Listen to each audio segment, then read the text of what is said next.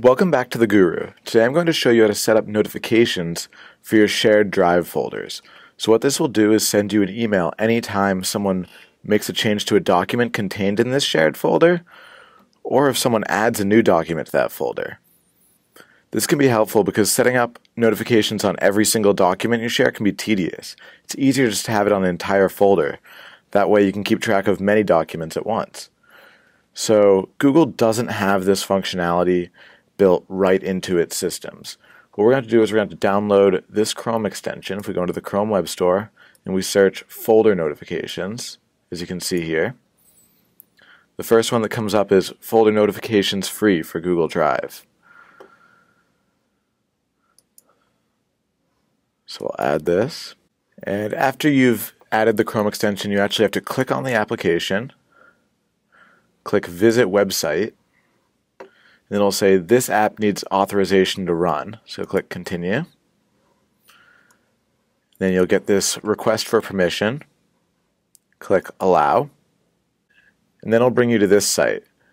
So you enter the ID or folder URL. So let's go find a folder of ours that we want to set up notifications for. So Gooru's important folder. So as you can see here, there's the URL at the top, so we'll just copy that. We'll go back into this website and we'll paste it and click Add Folder. And then we'll click Start Notifications. Now, I'm not sure if you can see that at the bottom here, but the program will run each two hours from now, and notifications will be and notifications will be sent to you.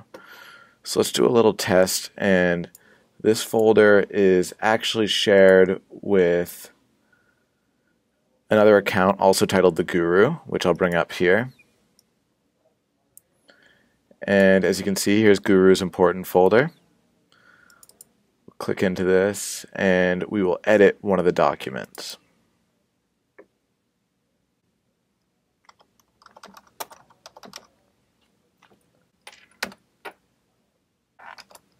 There, now that we've made this edit, the folder notification extension should pick up on that.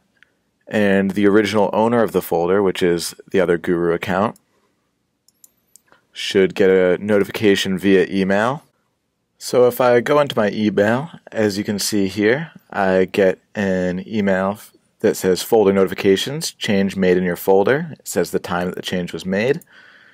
And I can just click into that and it says which document within the folder was changed, and then I has a and then it also has a link to that document, so I can click on the document and see what changes were actually made.